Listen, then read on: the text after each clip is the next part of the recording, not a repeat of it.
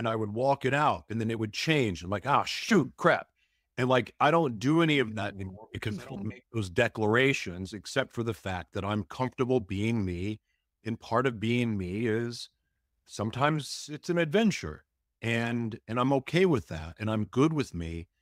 But getting to that place of just being comfortable with absolute truth, no matter how messy it gets sometimes, has been what has helped my life completely turn around, how I've rehabilitated my life, how I've found success, how I've learned to love, how I've learned to receive love, how I've learned how to be a friend and how I've have friends now and all those things and family and all the people that have come back in my life that once fled.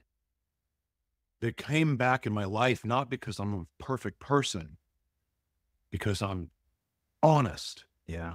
About who I am, what I am, and what I'm about. And that part doesn't change. I may change like different situations, but who I am as a person, as a whole, in my heart, that's that's the same always.